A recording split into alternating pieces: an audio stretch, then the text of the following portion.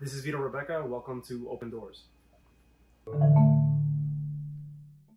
So I'm a new assistant professor. Uh, I started here back in July 2020, and our laboratory is located in the Bloomberg School of Public Health in the Department of Biochemistry and Molecular Biology.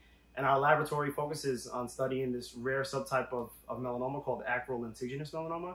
It's the rarest in Caucasian populations, but actually represents the most common type of melanoma in patients of color. And it's also the deadliest. So this right here is one of the pieces of equipment our laboratory is most excited about using. It's a cutting edge microscope that allows us to perform live cell imaging at the single cell level.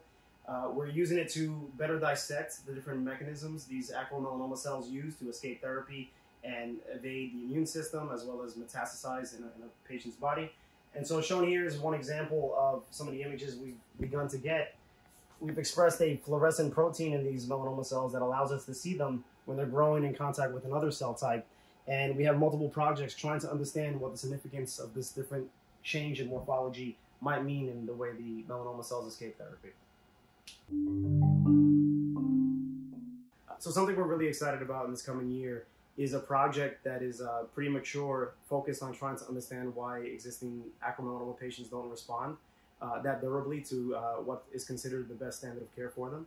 Uh, they're treated with these cell cycle protein inhibitors, uh, but unfortunately, the latest clinical trial evidence shows that these patients have very short progression-free survivals. And so we have a uh, interesting large-scale project focused on understanding the resistance to that class of inhibitor, and we found an exciting combination that we are just finishing up the final mouse model uh, that we're going to publish and hopefully can guide the future development of a clinical trial to uh, improve the outcomes of those patients.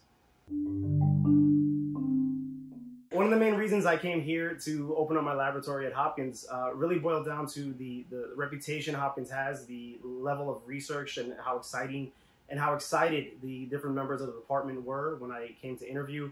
Uh, even though it was a virtual interview, I could immediately tell how warm and collegial and supportive the department was. Uh, was super excited about all the opportunities to collaborate with other departments at Hopkins.